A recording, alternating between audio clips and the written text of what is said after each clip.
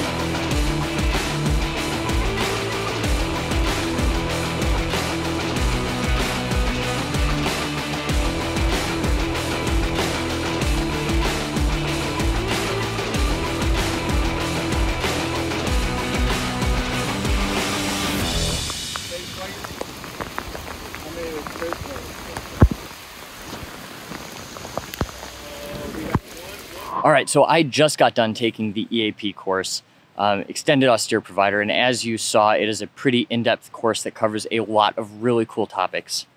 Um, you know, the first couple days are uh, more or less classroom-based, although there's a lot of hands-on thrown in there. Um, you go over everything from pathophysiology of various issues down to vent management, and then uh, you go into more clinical procedures such as POCUS, chest tubes, surgical cricothyrotomies, um, advanced airway management, things like that. So if you're looking at taking this course, I would really recommend you have a strong foundational knowledge of medicine. You know, at the very least, you have to be an EMT, but I would recommend, you know, this is for those uh, paramedics, um, you know, nurses, people that have at least a semblance of a critical care background um, to fall back on or are looking to get into that realm. Uh, they're really good at tailoring the class to the people in it. You know, we only had five people in ours and they capped the class at 10. So they do devote a lot of time to teaching you up if you want to learn a new skill. You know, this is not a wilderness first aid course. This is how do you manage an ICU level patient for a long period of time.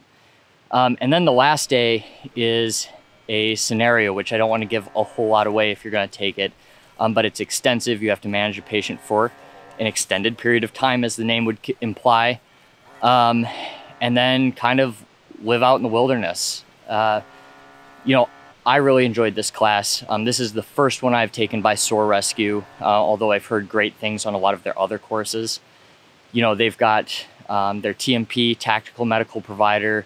They've got a TAME course, which is kind of the next step up from this course, which talks about like air evac and um, critical care in the transport environment in austere settings and non-traditional platforms.